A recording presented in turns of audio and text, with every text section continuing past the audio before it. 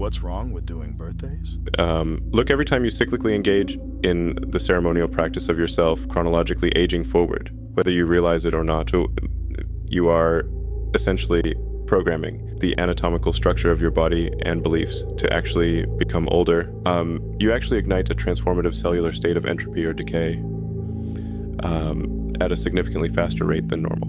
Your body might not have even aged much within the year, but by ceremonially believing that you are now, this entire year, older overnight, you basically lead your body and mind down this path throughout the course of your life where you force yourself into a state of elderhood. The reality uh, is that we, we used to live for hundreds, uh, even thousands of years in some cases. The concept of age and lifespan um, was introduced in, in more modern times, and ever since it was, the typical duration of one's existence has dropped dramatically.